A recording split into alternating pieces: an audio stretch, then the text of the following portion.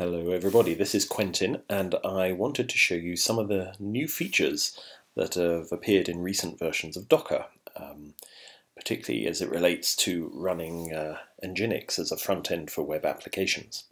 Um, I'm using here the new uh, Docker for Mac, uh, which means this stuff will appear to be much more native on my Mac than earlier versions of Docker did, so uh, highly recommended. It's still in beta form at the moment, but um, it's uh, becoming more and more stable and, uh, and making things a lot more fun to play with. Okay, let's have a look. First of all, I wanted a web application to, uh, to play with here, and so I've got a really, really simple one. What I've done is, I, in this app directory here, I have created a Docker file which will use a standard off-the-shelf version of the Nginx Docker container. I'm using the one based on Alpine Linux because it's quite a bit smaller uh, and still has all the facilities that you need for most things. And all I'm going to do is copy an index.html file into place uh, in that container so that when we run this, we should get back my very simple file which says a test page from the app. Let's first of all see if we can run that container. So uh, I'm going to cd into my app, app directory. I'm going to say docker build. Uh, I'll tag it as app uh, and I'm going to build the container in this directory. There it is. And now if I say docker run um, app, and now I'm actually going to say, and I want to remap port 9000 on localhost to be port 80 in the container, and that should now be running. If I get a browser and point it at localhost 9000, then we get a test page from the app. There you go, and we see a line saying that we got that request um, in, in the console here. That's the Nginx log. Great, so my app works. Pretty exciting stuff. As you can see, um, I'm going to have uh, lots of demand for this, so I may need to put it behind a load balancer. How might we do that? Well, what I'm going to do here is I'm going to set up a proxy here, which is also, as it happens, going to be a version of Nginx, and I'm going to put it in front of my app, and then we can play with that and do a little bit more with it. So my proxy consists of another Docker file based on the same version of Nginx.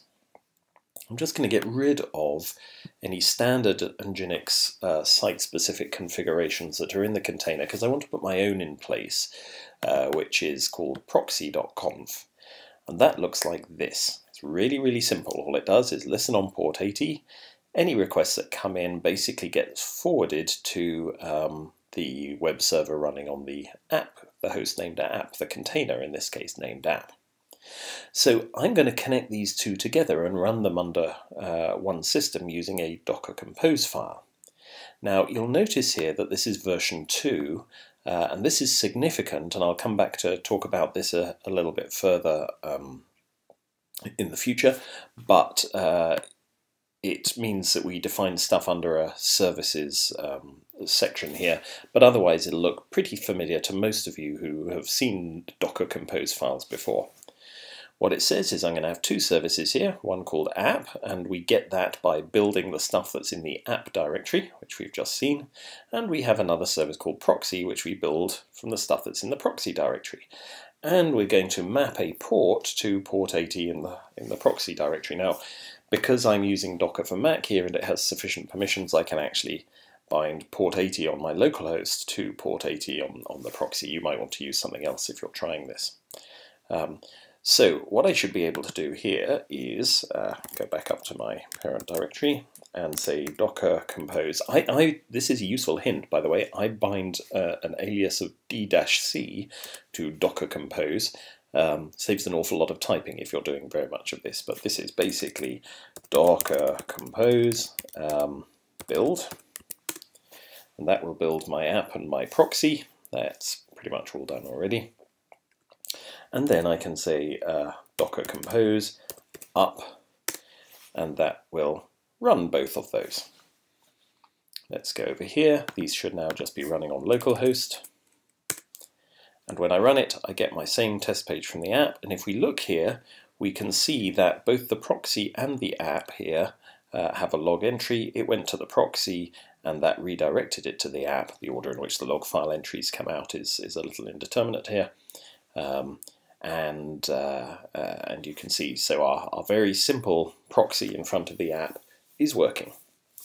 Now let's go back to the Docker Compose file and if you've used these in the past you may notice that there's something that's missing here. How does the proxy container know where to find the app container? In the past you would have put links in here, you would have done something like uh, is it link or links? I forget. Uh, I think it's links. And you would have had to say something like, um, you want to link to the app container. I haven't done that here. So how does it know this?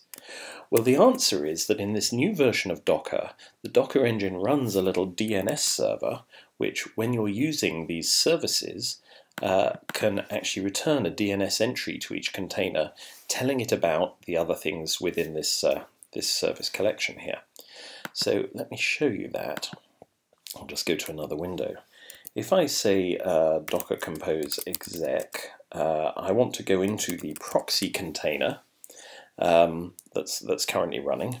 Let me just show you the containers that are running. If I say docker compose ps, you can see we've got this one and we've got this one. Um, they're both versions of Nginx, as I say, with different configurations. I'm going to run docker compose exec uh, and I want to go into the proxy container and run sh. I don't actually have bash on this because I'm just using Alpine Linux. Um, okay, so here I am. So what I can do is nslookup, for example, within this container, I want to ask uh, where is the app container and ignore this error for the moment, um, sure enough, it actually knows. It knows that the, the, the app container lives at that address, and so therefore from within here I can ping it uh, without actually having to specify it in etc hosts or anything like that. And this works, this is actually quite clever. If I do a mount here and show all the things that are mounted inside my proxy container, you can see these lines here which are new. What this is saying is that um, the file etc resolv.conf and etc host name and etc hosts, all of which um, determine what this container thinks about itself and what it thinks about other host names, um, are mounted from the outside. They're mounted from a special device actually in the Docker container. So if I look at this etc resolv.conf, which is um, where do I go to look up host names,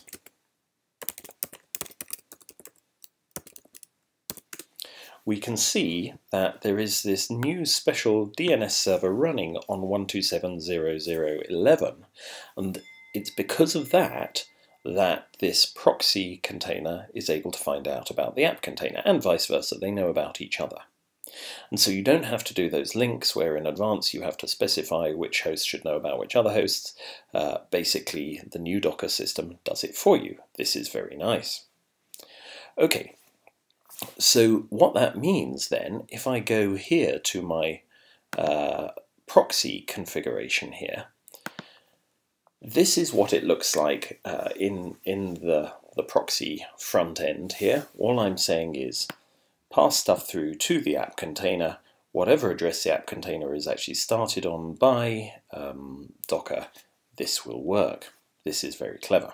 Okay, so life is simpler. We have a proxy in front of our app but it doesn't really get us anything very useful.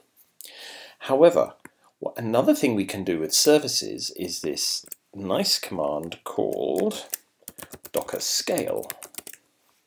Uh, oh, I beg your pardon, docker compose scale. Sorry, my terminal. Okay, doesn't really do anything on its own. Let's do minus h. Right. And what that allows you to do is to run multiple containers for a given service. So you can essentially do uh, scaling up of your particular service uh, by specifying service equals number here. So let's try this again. I'm going to say docker, uh, docker compose, docker compose scale app equals 4 and it will fire up three more instances of my app. So if I now do docker ps, for example, you can see here I've got one proxy uh, and four instances of the app.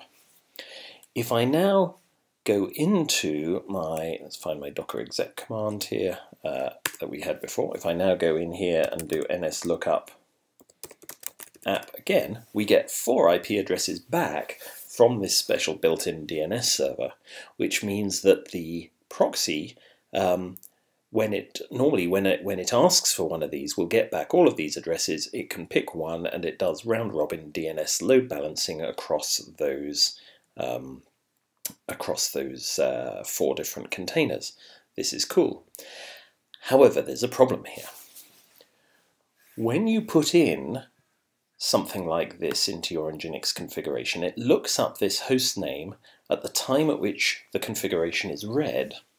And if you actually try running this, you will find, uh, let's go back here. We're looking at this. Uh, if I run this, I, am hitting refresh multiple times here, and you'll see that all of those uh, requests are going to my first app container. And Nginx hasn't worked out that there are three other containers running.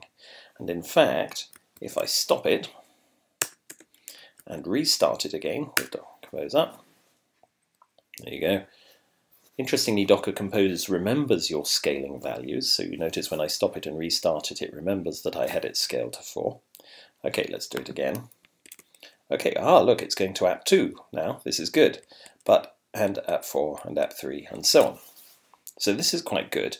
Um, but there is still a problem here, which is that if I were to change the scaling now, let's suppose I scale it down to, um, sorry, my terminal's doing funny things here, docker scale app equals 2.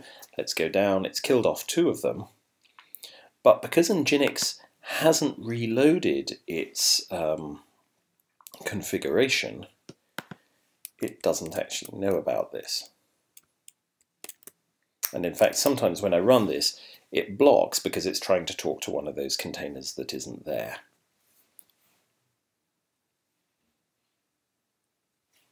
Okay, I'm going to interrupt that.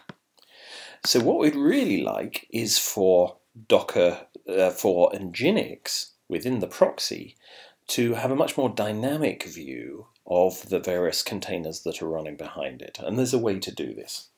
Basically what we can do is in our proxy.conf, instead of this very simple proxy pass here, we do a couple of extra lines.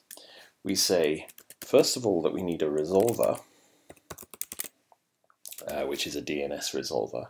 And in this case, we're going to use that magic address that Docker uh, uses for its DNS server. This is the only slightly dodgy bit of this. I'm not sure whether that address is defined, whether that'll stay the same in future versions of Docker and so on, but it seems to work reliably at the moment. I hope they don't change it, or maybe there's a better way of discovering this uh, automatically. If, if anyone else knows a way, do let me know.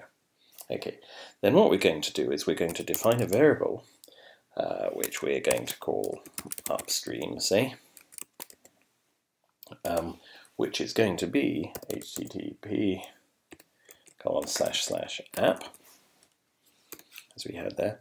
And then we're going to make proxy pass refer to that variable. Now, this is because of a little bit of magic, which is that when you use proxy pass um, and just put in a variable name here, it will try and understand what the contents of that variable mean in various different ways, including looking it up in a resolver if it has been given a resolver. So um, what this will do is it will now make sure that uh, each time this request comes in, it will use the resolver to, to look it up, and that will help load balance across multiple um, multiple uh, nodes, multiple containers. Now, there's one other thing you want to do here, particularly in testing. Unfortunately, um, the uh, when, when Nginx does look things up from this special built-in DNS server, it actually caches the results for quite a long time, and so typically uh, I think that's five minutes by default. It's at least 30 seconds, and I think it may actually be five minutes. So if you're scaling things up and down at all, uh, you know, regularly here, um, you actually want to uh, make that cache a lot shorter here so that um, it will discover changes much more quickly. Uh, so what you can actually add on the end here is when the definition of the resolver, sorry, you can say how long the results from this resolver are valid for, and I'm just going to say five seconds here. Um, you wouldn't want to do that in production. You would want a longer time in production uh, because the, the smaller the number there, the, the more load it'll put on the little DNS server and so on. But for experimentation and testing, this works very nicely. And um, if you change this number to something higher, the performance will be higher, but it'll take more time to resolve to your uh, to, to um, uh, see the effects of any scaling changes you make. Okay, so with that little change to the proxy config, we're saying go and find out names from 127.0.0.11, remember the results for 5 seconds, uh, set your upstream variable to be that, and then proxy pass onto the value of that upstream variable using a resolver to look up anything in here if you don't understand it already. Okay, let's save that proxy.conf. I'm going to interrupt this again, and I'm going to do docker compose build just to make sure I've got a new version with uh, with this updated proxy.conf in place, and then I'll do docker compose up. Okay, once now we're just firing up our two app containers, our one proxy container, and if I refresh here, you can see that's gone to app 1, the second one went to app 2, and so on. And it'll approximately, if I keep hitting refresh, you'll see some of them go to one and some of them go to the other. If I now go into another window here and change my Docker, Docker scale here, and because even though this is a laptop, I can do nice things like maybe 30 copies of this, it's now firing up 28 more containers. There we go. Uh, and we should find that if I hit refresh on here, oh look, that one went to container 11. Let's do it again. That one went to container 10, container 3, container 20, and so on. So because the resolver was timing out fairly promptly, within five seconds of me making that scaling change, and Nginx was discovering that uh, there were a whole lot more containers um, it could it could use because the DNS was returning, in that case, uh, 30 names um, rather than just the 30 IP addresses rather than just the few I had before. And similarly, if I scale it back down to 3, it kills off lots and lots of containers. And if we look back in this terminal, we'll see them all exiting. Uh, and after about 5 seconds, this should continue to work just fine. You see that one went to uh, app 3 down here, app 1, app 3, app 1, app 3, and so on. App 2 got in there as well if I keep refreshing. So there you are. I think that's quite neat. You can do simple load balancing using a round-robin DNS entirely within Docker. I haven't run had to run any special services like Consul or Docker Gen or any of these things that you used to have to use in the past um, uh, to, to make this work. You can run a simple instance of Nginx with minimal um, configuration uh, as a load balancing front-end proxy to multiple containers. The only little tricks you might want to use, do are um, specifying uh, this using a variable so that it gets evaluated each time, and maybe turning down the validity period on the resolver if you are scaling this on a um, up and down on a regular basis. Once you know roughly what you want to do, you probably want to turn this up to at least 30 seconds. Um, but uh, I hope that's useful, and uh, I think this is really rather a nice feature of Docker here. It's hard to think of a more simple load balanced app um, than, than this one here, and the new features in Docker make that possible. Thanks very much.